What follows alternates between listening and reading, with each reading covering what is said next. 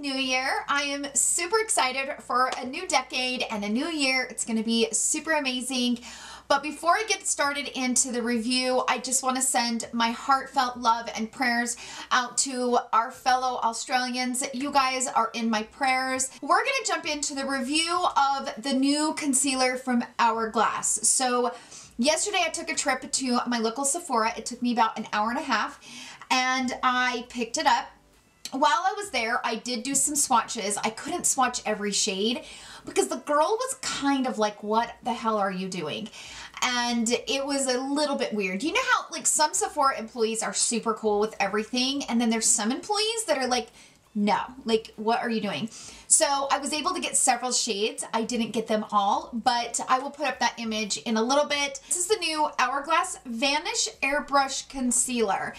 So full disclosure, I love Hourglass products. I love their powder. I love their blushes and their bronzers and stuff like that. But the Vanish Stick Foundation is not my favorite all over the face. Being that I am 40 years old and I have like a dry normal skin, that stick foundation is just a tad bit too heavy for me. I do use it for extra coverage, like if I'm having a breakout or something, I will throw a little bit of that on with my other foundations, but that's not a foundation that I can wear alone. Now, the liquid foundation was a hot mess. It looked horrible on my skin.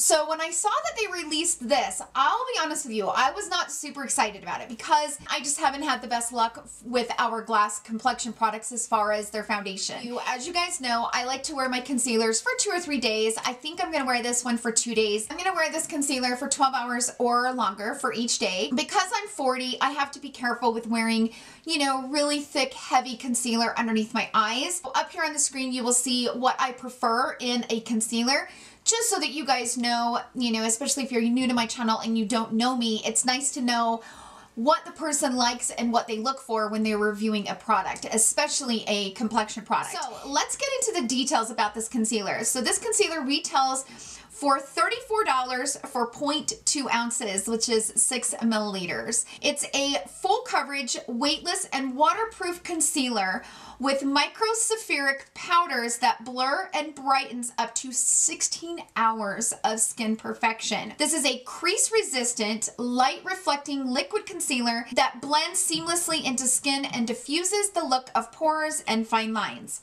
The highly pigmented formula evens skin tone to conceal the appearance of dark circles, blemishes, and other imperfections for a smooth, natural, and airbrushed finish. So, let me say this. The texture of this, I would describe it as more of like a dry oil type of texture. So it's not very creamy. It's not a real creamy concealer where it's wet. So when you put it on, you almost can't feel it. And then as you start to blend it, it dries pretty quickly. So, you know, for those of you that are curious about that, it does dry pretty quickly. The other thing that I want to mention too is, as you guys know, I typically don't set my under eye and I don't really like a lot of heavy, heavy powders underneath my eyes. But with this concealer, I did not even have a want or need to put powder over it. It dries in such a way, I don't think you need to put powder over top of it. Now, if you're somebody that likes to bake, then, you know, keep that in mind. Now today, I'm not going to wear any powders over top of it. Tomorrow, I might set it with some setting powder. The shade that I chose is the shade Dune. Dune is described as medium to medium deep with yellow undertones. I'm a medium with a golden undertone. I'm like a medium tan with a golden undertone. That's typically how I buy my foundations. This shade didn't give me a lot of brightening, but it definitely is a perfect shade match for me. I don't like a really bright under eye as I've aged just having that really bright under eye just doesn't look good on my skin anymore. So up here on the screen, you will see this shade, Dune, next to some of the other darker concealers that I have in my collection. So I compared it to the Becca Aqua Luminous Concealer in the shade Beige. Then you'll see the Charlotte Tilbury Magic Away in number six. And then you'll see the Armani Beauty Power Fabric Concealer in number six as well, right below it. So uh, it's definitely the darkest of those, but I really like the shade. So let's go ahead and do some price comparisons next to some of the higher end concealers that are out on the market. So in that same price range. So let's start with the Hourglass. The Hourglass has 22 shades. It retails for $34 for 0.2 ounces, which is 6 milliliters. That makes it $5.67 per milliliter. Now, if we compare that to the Armani Beauty, which is the Power Fabric Concealer, that concealer is the exact same price. You get 20 shades in the Power Fabric Concealer. It is $34 for 0.2 ounces, which is 6 milliliters. That makes it $5.67 per milliliter. So let's compare it to the Charlotte Tilbury Magic Away Concealer. There are 21 shades in that concealer. It retails for $32. You get 0.13 ounces, which is 4 milliliters worth of product. That makes it $8 per milliliter. So the Charlotte Tilbury is very expensive compared to this one from Hourglass and also the one from Armani Beauty. Now let's compare it to the Tom Ford Emotion Proof Concealer. There are 12 shades in that concealer. It retails for $54. You get 0.24 ounces, which is 7 milliliters. That makes it $7.71 per milliliter. So the Tom Ford is actually cheaper than Charlotte Tilbury, if you can believe it. I also compared it to the YSL All Hours because it seems like to me Hourglass and YSL and Charlotte Tilbury, they're all kind of in that price range. So the All Hours concealer comes in 16 different shades. It retails for $34. You get 0.17 ounces, which is 5 milliliters. That makes it $6.80 per milliliter. So the Armani Beauty and the Hourglass Concealer are both cheaper than all the ones that I just talked about. Okay, so that's it for all the information about the concealer. Let's go ahead and jump into the application portion of the video. I'm gonna go ahead and wear this for the next couple of days and I'm gonna come back, I'm gonna do some check-ins and we're gonna wear it for 12 hours and longer and I'm gonna give you guys my final thoughts on it. So without further ado, let's go ahead and jump into the application.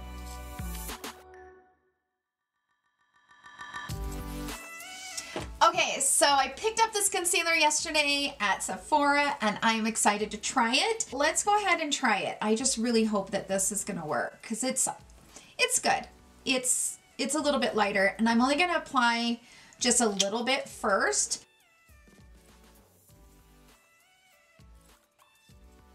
Today is Saturday and my son and his friends are over. So if you guys hear any outside interference, I apologize, but I'm happy to have my son home, so I'm not going to complain. Okay, so first things first, that shade is perfect. It's not too light and it's not too dark. So I'm kind of just doing this with my finger and that blended right out.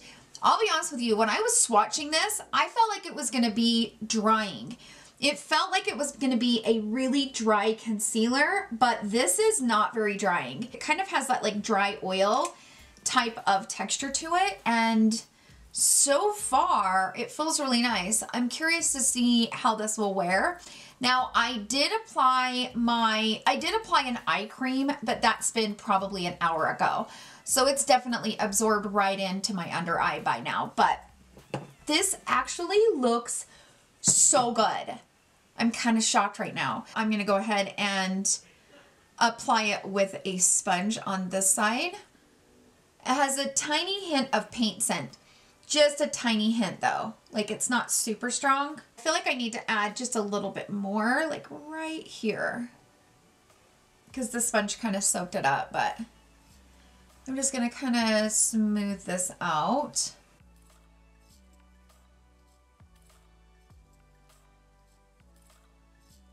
Wow, I'm kind of impressed right now, you guys. I'm just kind of going up in there and kind of picking up any of the extras sitting in the creases but it's not even emphasizing my creases. I'm kind of curious about this one. Okay, so I'm going to swatch it here on the back of my hand. So you guys can see it's definitely a full coverage, but it's very smooth. And as you can see, it looks really good over the wrinkles too. When I was swatching it in the store, I felt like it was going to be a little bit drying, but it's actually pretty moisturizing and it kind of has a little bit of a shine. So as you can see here on my finger, I'm not trying to flip you off, but here on the finger that I use to blend it out, you see how it has a little bit of a shine to it? So yeah, and it feels dry. So it's completely dry. It's not tacky at all. It's definitely a concealer I've never felt before. It's not wet at all. There's no wetness to this concealer. Okay, so I went ahead and pulled you guys in so you guys could see what my under eyes are looking like. Stuff dries. Like it is completely set down. And I kind of have a feeling that this is a formula that I would not recommend putting powder over. I can tell by the way it dries that you really don't need powder. This is not a liquid concealer, even though it is. It's not a wet liquid concealer. So it has kind of that dry oil type of texture. And so that when you put it on the, uh, when you put it on the skin, it starts to dry.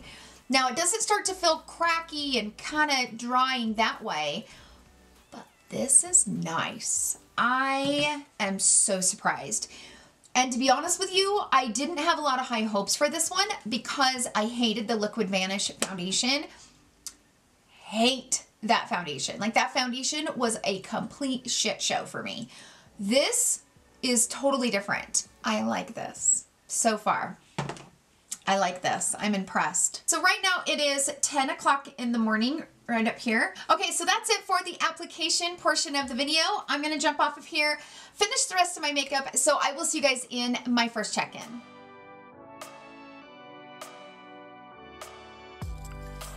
Okay everyone, I am back for a midday check-in on this concealer. So it is currently 3.38. So I've officially had this on for about five and a half, almost six hours. Um, this looks pretty dang good. I am starting to get a little bit of like the dark shadow, like my dark circles are starting to come through. Um, so, you know, that's something to always consider, especially if you have really, really dark circles and you're wanting this to be like a full, full coverage. I, I don't know if you can see it, but like right here, let me get a little pointer like right here, the darkness is starting to come through. I have a little bit of darkness coming through here, but so far I think it looks absolutely flawless underneath my eyes. In fact, if it stays looking like this, even for the next, you know, three or four hours, I will be completely happy. Like, you know, I need my concealers to last for at least 8 to 10 hours. I know that 12 hours is a long time to test a concealer, but I do that because there's a lot of you out there that have really long shifts and some of you work for 12 hours or longer. So I always like to test out my complexion products for 12 hours or longer.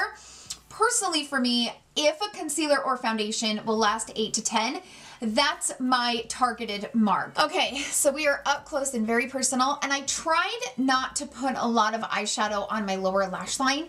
Um, but tomorrow I won't put any eyeshadow on. It doesn't feel very drying. It feels very soft on the eye. If I put my hands underneath my eyes, I can't feel anything there. It's very, very soft probably one of the softest formulas I have in the concealers. Tomorrow I will probably put powder on one eye and powder on and no powder on the other so we can see what it looks like with powder on for those of you that like to wear powder on your under eye. I know there's a lot of people out there like me that would prefer not to powder and so we'll see how this goes but so far like I'm just going to say this so far. If it lasts like this for the next several hours, this might, this might be a new favorite formula because it's absolutely beautiful on the under eye. So that's it for this check-in. I will see you guys in my next check-in.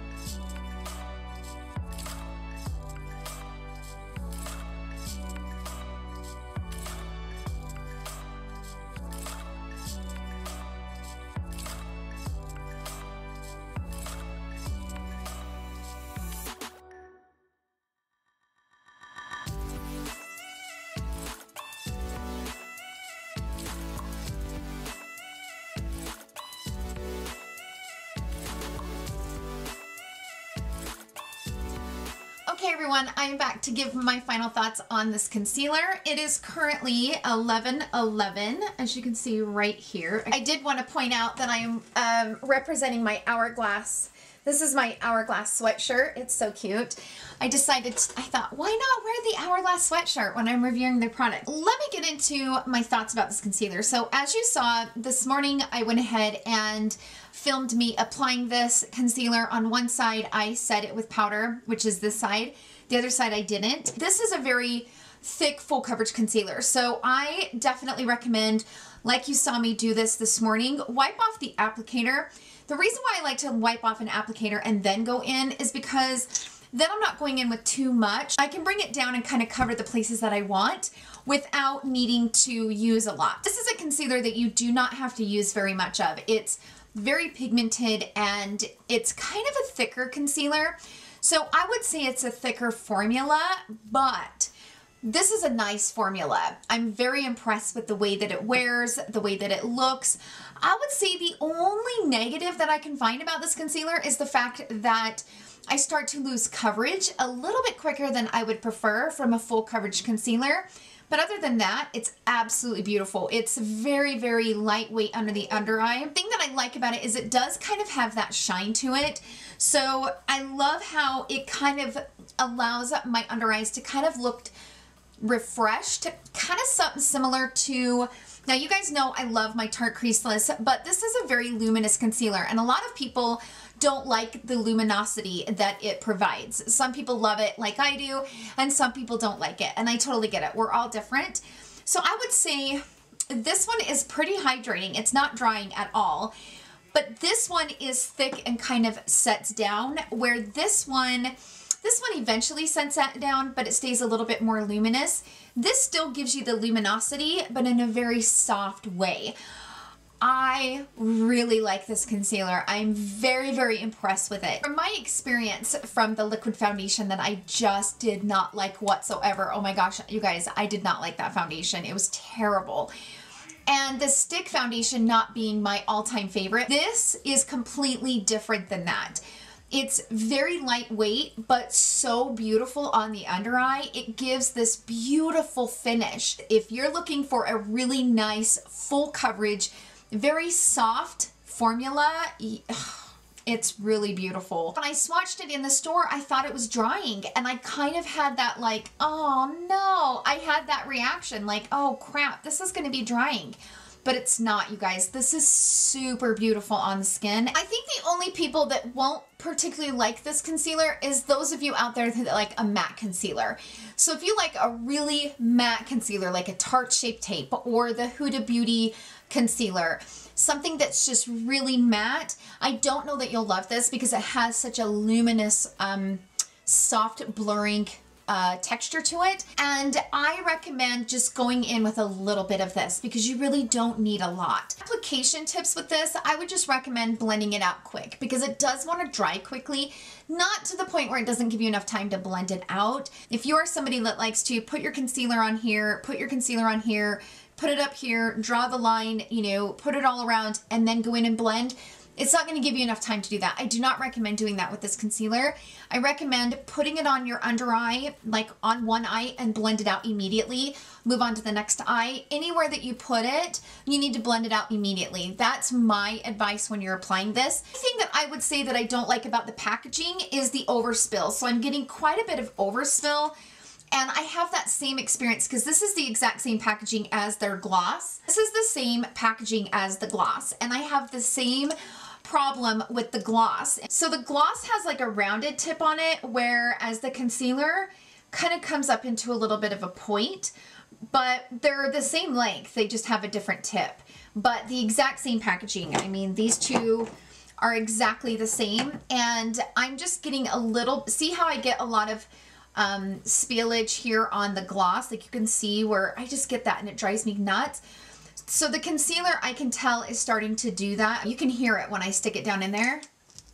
Say those are probably the only two negatives I can find. It doesn't maintain like a full coverage for several hours. Even in my six hour check-in, I did start to get a little bit of the darkness kind of coming through. For the first six hours, it's like a full coverage concealer.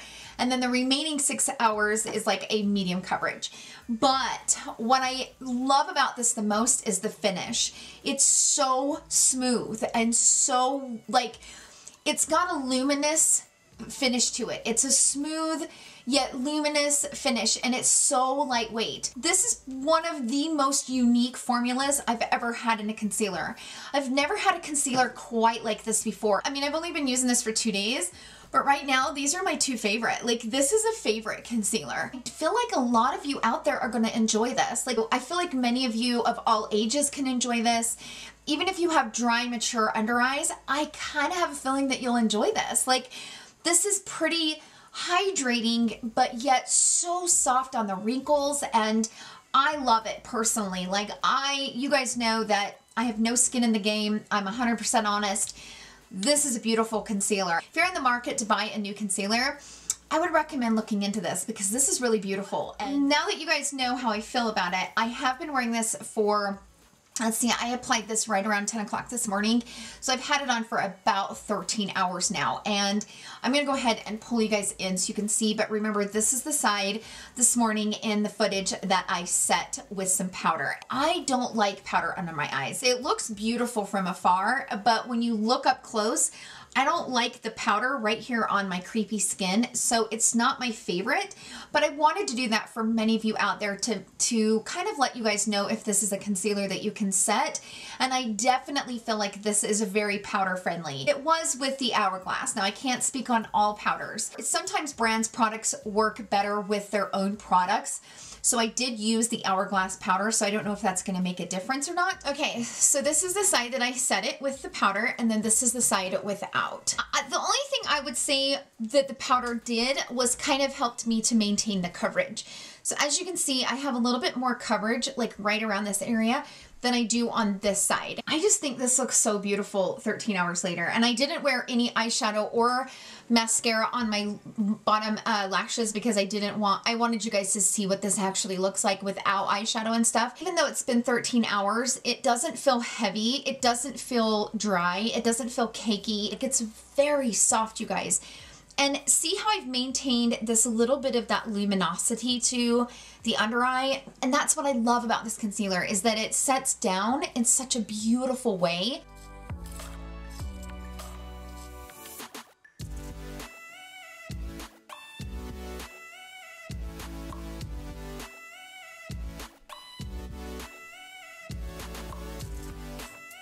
Yeah, I, I have to say it though. This might be a new favorite. I really, you guys are going to see me use this quite often and you're going to hear me talking about it. I don't know that it's completely replaced my Tarte Creaseless, but let me tell you something, it's coming for it because it's beautiful. But see the shine that you can see on my finger right here? You can see that shine to it. That's what I'm talking about. So it dries pretty quickly, but still giving you the time that you need to blend it out. But look how soft and just beautiful that is. And, and it's completely dry. It's not tacky, but it's so soft. And it, see how it kind of gives a little bit of that luminosity to my hand right there? You guys, the, look at that. I just, I love it. Look at that. I mean, it's just so beautiful. And see how I had those little creases right here? You can just go in. It's such a smooth texture. I hope that this video was helpful for you guys. I hope that I answered all the questions that you guys had about it. If not, definitely let me know in the comments down below if you have any questions. I will definitely answer them to the best of my ability. That's it for today's video. Thank you guys so much for hanging out with me today. I hope you guys enjoyed the video. If you did, please give it a thumbs up. Thank you guys so much for the love that you show me and my channel. It means the world to me. I hope you guys have a wonderful week filled with love and joy. I will see you guys in my next video and I love you all so much. Bye.